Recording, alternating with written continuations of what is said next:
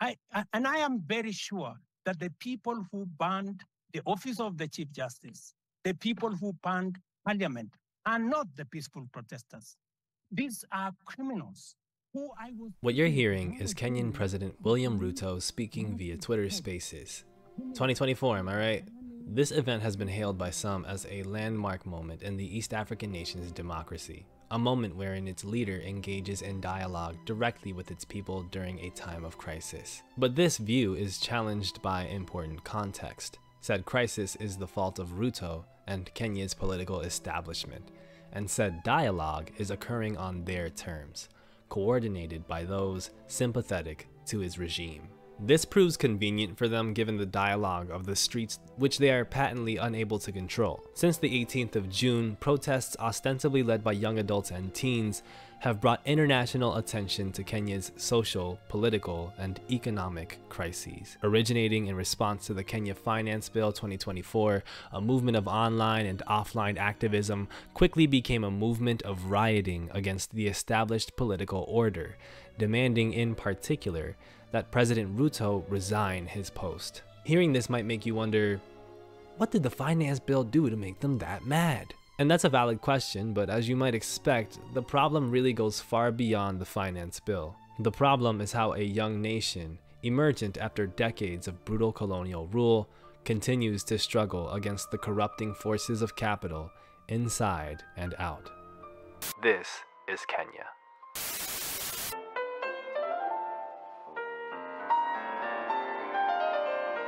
Folks, let's start from the present and work our way back. On the 7th of July, hundreds of Nairobians gathered for a concert held to commemorate victims of the Kenyan government's protest response. The number of those dead is hard to measure. Example is that of David Chege, shot in the head by police. He was a Sunday school teacher. His body lay dead in the street, treated like litter. As protesters came to him, honoring him by covering his head and displaying the Kenyan flag over him, they were shot at too. Meanwhile, reports and word of mouth abound of demonstrators being illegally abducted, harassed, tortured, and even killed by the government. This has been the state of affairs since the first death of a protester, a 29-year-old named Rex Masai. His death triggered the movement of seven days of rage, planning more voracious protests in solidarity with the fallen. President Ruto in this moment chose to escalate. In a familiar move for political leaders prepping violent suppression of protest, he suggested the movement had been hijacked by dangerous people. The thing about that is, these accusations contradict overwhelming eyewitness accounts of police killing peaceful protesters. And of course, they did nothing to calm protests. Peaceful demonstration met with police violence will turn into rioting, which becomes a mix of self-defense tactics and opportunism. And of course, said opportunists often are directly trying to contradict the purpose of the protests. Fear mongering over looting in the riots has been quelled by footage revealing that, in at least one instance, the people looting, because there were people looting, were the police themselves. May it be on record that it is the police who are destroying people's property, not us. Why? Like we've seen around the world, the widespread availability of social media and digital recordings has been a tool for the people to grow stronger in their fight despite the odds. Objectively cool shots of Kenyan protesters smoking tear gas have proliferated across the world. And without doubt, this combination of online and offline resistance, highlighted by demonstrators storming the parliament building on June 25th, led to Ruto's administration eventually rejecting the Finance Bill 2024 on June 26th. And of course, this is the bill that sparked the original resistance. Listening keenly to the people of Kenya who have said loudly that they want nothing to do with this Finance Bill 2024, I concede. What I want to get across, though, is that the finance bill is not really the beginning here. And some attempts in the media to merely construe these protesters as anti-taxed undermines the totality of their political struggle. In reality, the finance bill was the straw that broke the Gerenuk's brown saddled back. Yes, I will be making references to Kenyan wildlife from time to time. Around this time last year, a similar finance bill was met with similar response, protest, which in turn was then quelled violently, leading to six deaths. You see a pattern? Both bills reflect an ongoing theme in Kenya and around the developing world an overwhelming need to pay off international debt, and an entrenchment of wealthy elites in the political establishment, leading to continuous draining of working class income, rendering cost of living exceedingly high. And Kenyans are taking to the streets because they kind of start to feel like the ballot box isn't really working in terms of actually changing their country.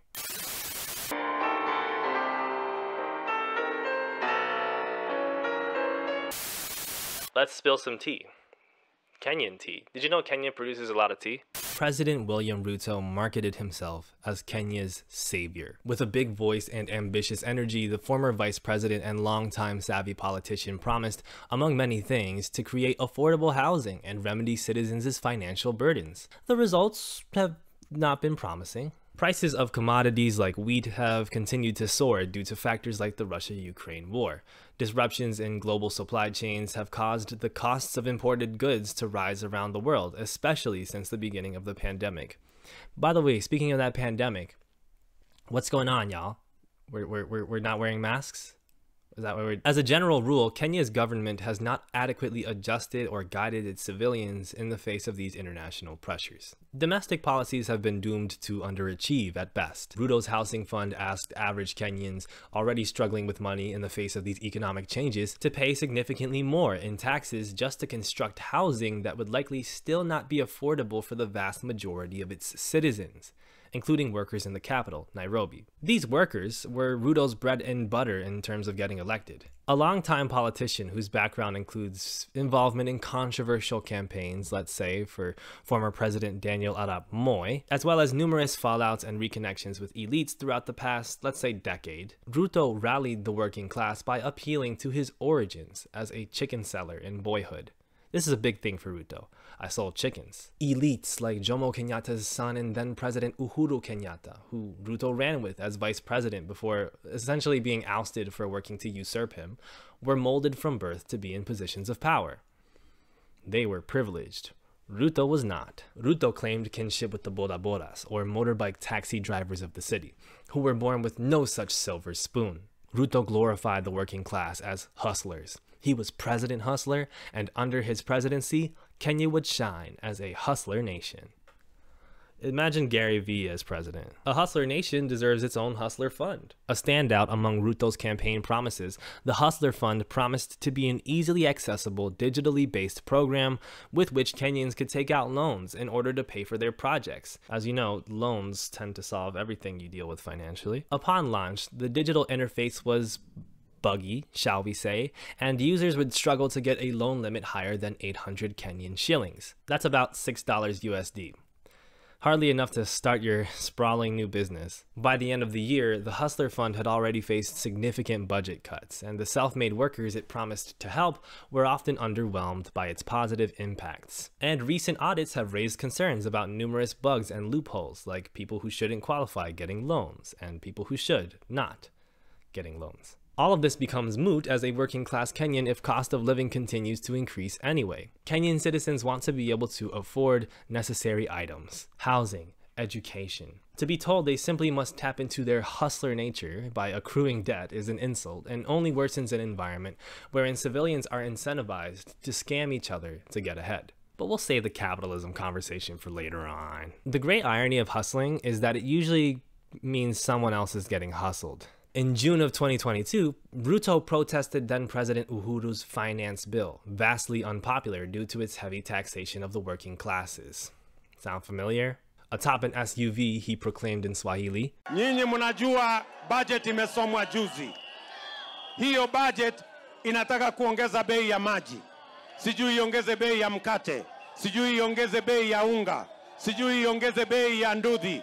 Sisi tunataka kuambia hiyo budget haiwezi kupita kwa bunge, na ikipita kwa bunge miezi mitatu baadaye tutaibadilisha iwe ni budget ya mwananchi wa kawaida. Politicians are funny, man.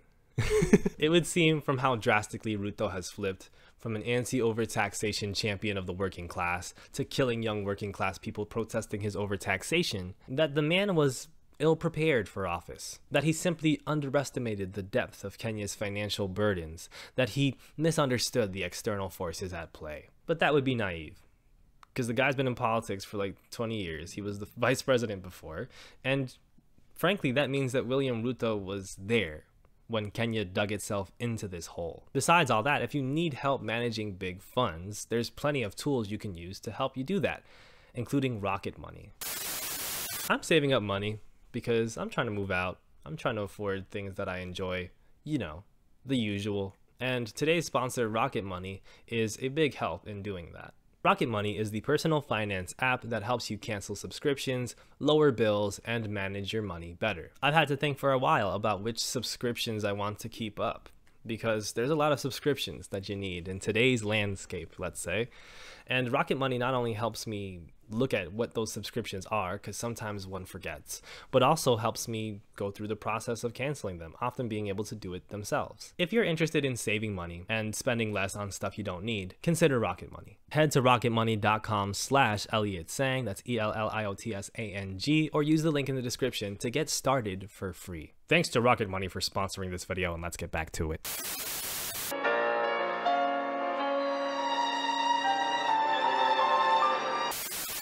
As Ruto's administration finally gave up on the finance bill, a familiar opposition voice stepped up to challenge him in the political establishment, to potentially represent the voice of the people dissenting. His name is Raila Odinga, and said Kenyan dissenters don't really want his leadership. The opposition presidential candidate in 2022, Odinga, kind of like William Ruto, is the consummate career politician. But rather than work within, Odinga tends to work without. The son of Jaramogi Oginga Odinga, former vice president of Kenya under Jomo Kenyatta, Raila's memo has long been to market himself as an anti-establishment establishment figure from an article from Debunk Media, which has been a huge help in making this video. In his political calculations, it is as if Odinga always wants to come from behind, as if turning tables on his opponents offers a better thrill and allows him to plot and move in silence. Odinga is an interesting character. To summarize his history briefly, Raila Odinga was sent by his father, a progressive and founding father of Kenya,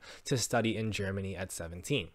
Upon his return eight years later, Insert Donald Glover community meme.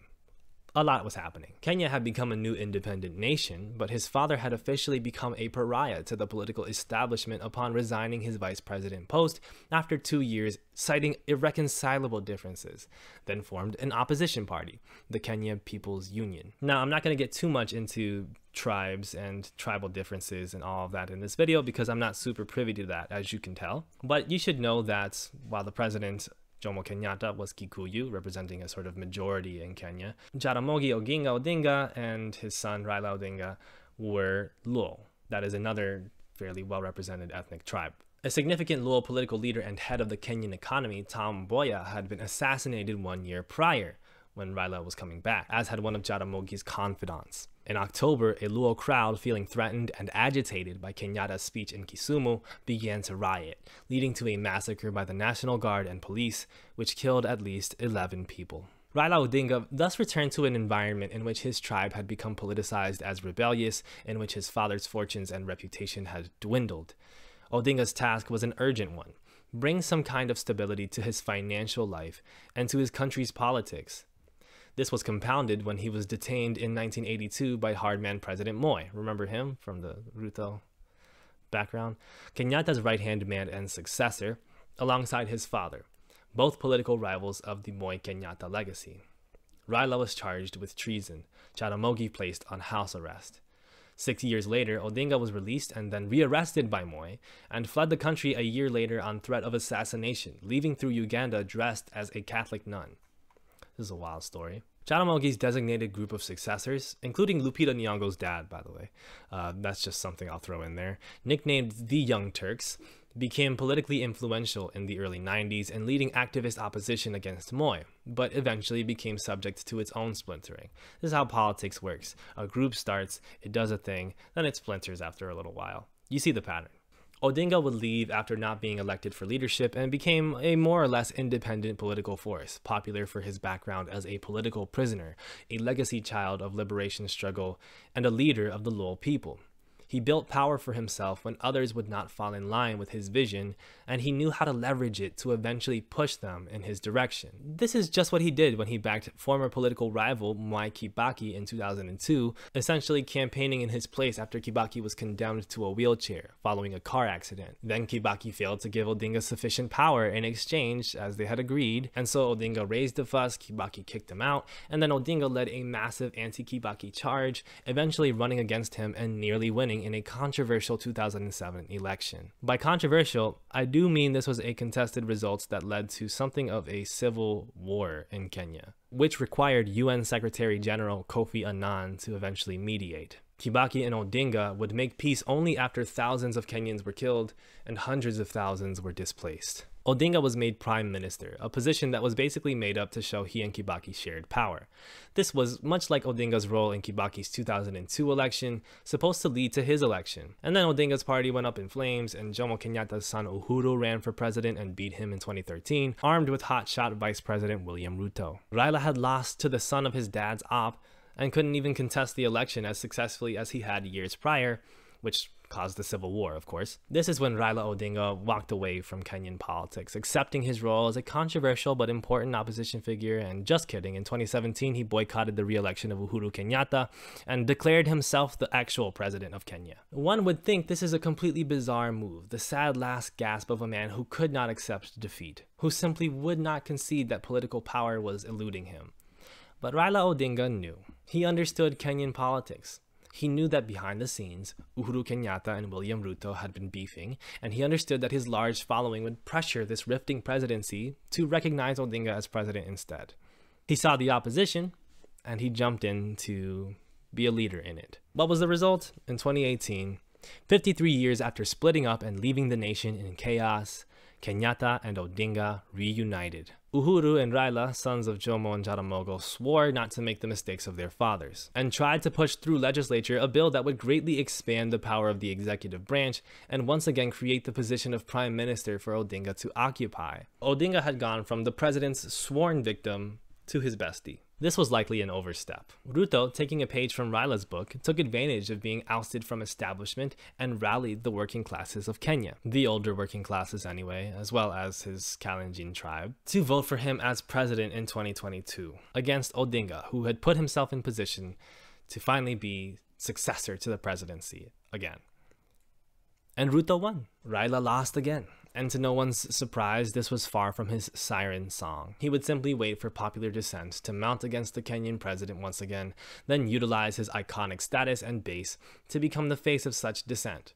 This plan has worked all these times before, why not try it again? The answer is that geopolitics have changed. Societies have changed. Allying with US interests, as the Kenyatta Moi Kenyatta legacy has done for decades, is no longer satisfactory to retain power and the Kenyan people have seen this movie one too many times. Politicians going from friends to enemies to friends to enemies to friends over and over again for the sake of personal gain. However, it wouldn't be right to just close an examination of Kenyan politics this way. African politics corrupt is a lazy assessment at this period of time. We owe them better in the West. We at least owe ourselves a study of history to understand why such corruption becomes the state of affairs in young nations like these. And so we must discuss colonialism. Yay.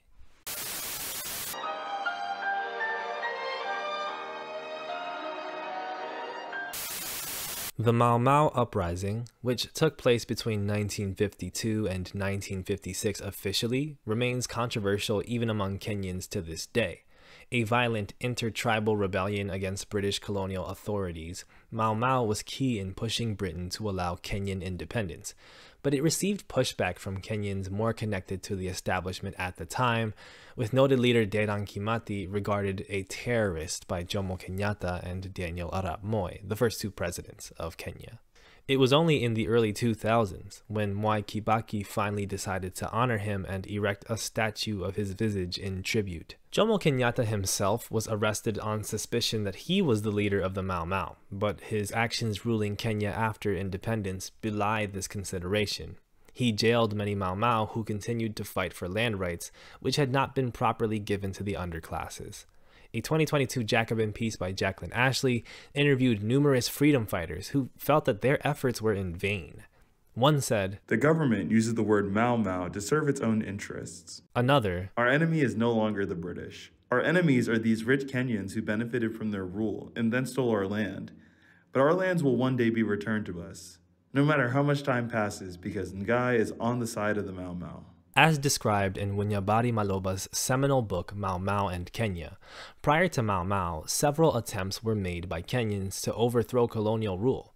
Beginning in the late 19th century, the British Empire did British Empire things, expanding into East Africa and increasingly enforcing apartheid, overturning previously established land systems in order to create a protectorate in which land and labor were exploited for British gain. High Commissioner Charles Eliot described the need to make it a white man's country. That's what happens when you spell Elliot with one L instead of two.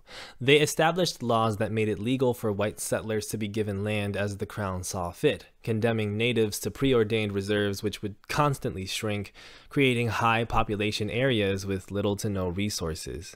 Urban centers were created primarily for the use of whites. As Maloba writes, The institution of racism in the colony made it imperative for the development plans of urban centers in Kenya to proceed along racial lines. Residential estates were strictly along color lines, with whites occupying the best parts of the towns. Commercial centers that catered to whites were generally well planned, and so were their residential estates. Government workers recruited from overseas and even locally were generally provided with superior, comfortable accommodation and servants. The Asians lived in separate areas, usually more crowded than those occupied by whites. In the initial years, it was generally held that urban areas were not for Africans. more and more Africans in the area were forced to turn to terribly underpaid labor. with the highest paid African earning less than half of the annual total emoluments received by the lowest paid Asian worker. Similar to what Kenyans face now, Kenya under British rule was subjugated by overtaxation of the working class and poor, inflation and rise of cost of living, and violent state led repression of underclass rebellion. The Kenya Land and Freedom Army, which led the Mau Mau uprising, represented a people forced to use violent means after decades of attempts to negotiate and protest non-violently were squashed. But when Kenya finally won independence years after the Mau Mau was ultimately defeated, it did so through bourgeois Kenyan politics, which ultimately only brought prosperity for well to do people in the country, as well as some aspirers to that class, and left the essential goals of the Mau Mau still unfulfilled. In the time since, Kenya's leaders have by and large allowed the country to be dominated by the economic interests of the West. The unpopular Finance Bill 2024 was justified, like its predecessors, on behalf of the country's economic restraints, especially its outstanding debts. So, this behooves us to talk about where those debts come from.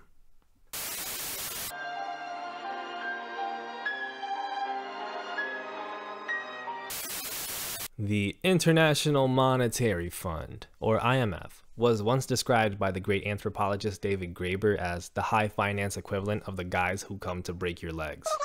Established in 1945 as a section of the United Nations that offers loans to developing countries, the institution has spent decades loaning vast amounts to nations struggling economically, but in return has often imposed devastating interest rates and policy changes that have done nothing but further harm the poor and working classes of these countries. In the book Profiting Without Producing, Cole Lapavitsas tackles the subject of financialization, or the unprecedented expansion of financial activities, rapid growth of financial profits, permeation of economy and society by financial relations, and domination of economic policy by the concerns of the financial sector. The IMF and World Bank have been the entities primarily responsible for financializing developing countries, with the idea that massive loans and free market policy changes would allow for money to flow from rich countries to poor countries. Let's see how that worked out. For one, taking on loans backed by US dollars has led to developing countries everywhere taking on massive reserves of US public debt. As Lapavitsas writes, developing countries have been accumulating vast hoards of a form of money that rests solely on the promise of the US government to pay an intrinsically valueless dollar for every nominal dollar of its debt. This is why when the US faces financial crises like that of 2008 or whatever the hell is about to happen now, the entire world is hit. It is part of why countries have become dependent on the US economy to the point of sacrificing domestic economies. But the more infamous role the IMF has played, and the more direct way this manifests, is in structural adjustment policies the demands that poor countries impose free market policies, cutting social safety nets for the poor, and opening up nationally organized industries to international finance. Such policies have been criticized heavily for years by people who care about helping the poor. A recent study finds that these programs undermine access to quality and affordable health care and adversely impact upon social determinants of health, such as income and food availability. Kenya, a young developing African country in the late 20th century, was a perfect victim of the US's global financialization. Sub Saharan Africa, as Nicholas Ford writes for Jacobin, got approval for massive loans through following structural adjustment programs. Naturally, these programs mandated strict austerity and cuts to social spending, while reorienting economies to focus almost entirely on exports and extraction. For most countries, this meant investments into education and healthcare dried up, while cheaper exports to the West increased. The effects were devastating. Ford notes that in sub Saharan Africa, the number of people in poverty almost doubled from 1981 to 2001. Even in a period wherein wealthy Africans became richer, GDP per capita in sub Saharan Africa fell by 15% from 1980 to 1998. And by 2004, the continent was paying the wealthiest countries $15 billion every year in debt servicing. This is more than the continent received in aid, new loans, or investment. So much for the money flowing from rich countries to poor countries. The opposite was true, in fact. And Kenya was one such country. Slow at first to implement these structural adjustments, by the time Jaramogi Oginga Odinga and the Kenyan left had been viciously suppressed in the late 80s, Kenyan policy led to disaster.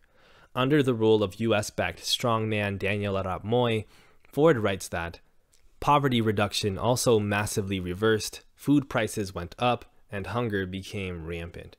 At the start of the 1970s, around 35% of Kenyans lived in poverty.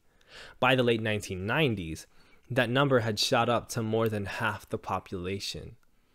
According to the UN, the number of Kenyans living in poverty more than quadrupled from 3.7 million in 1973 to 17 million by 2003.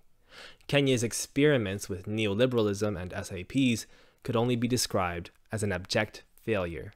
Only for elite Kenyans was there growth, with university educated Kenyans seeing a threefold increase in incomes, while returns to secondary educated Kenyans dropped by 50%. This disparity led to increased inequality, pushing Kenya into the top 10 most unequal countries globally. So, what did we learn in history class today? Out of British direct colonial rule, Kenya emerged still under the gun of a much more clever Western imperialism, one that dictates to you which elite will lead your country, forces said country to take on its debts, and rakes in profits as your country burns as Kenya continues to take on massive IMF loans, as credit rating institutions evaluate the country's debt as increasingly toxic, as the unpayability of these loans prompt corrupt Kenyan leaders to tax the working class further and further, as prices of sugar, vegetables, and flour skyrocket, as 73% of Kenyans are either in severe financial distress or are failing to make ends meet, and as Kenya spends more money on servicing its debt than all other items in the national budget combined, it becomes clear that in Kenya, the past is still the present.